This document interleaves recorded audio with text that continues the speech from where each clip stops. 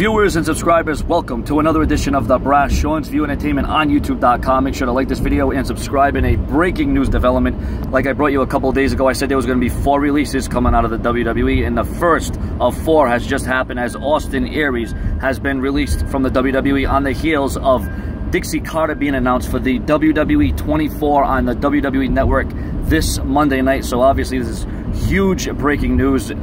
Once again, I'm going to be staying on up to date on this story as it develops, as it unravels. And, uh, you know, Austin Aries, obviously, this is going to be a shock to everybody because he just came into the WWE gave him a pretty good uh, run. And now, and now it seems like that has diminished and he's been released.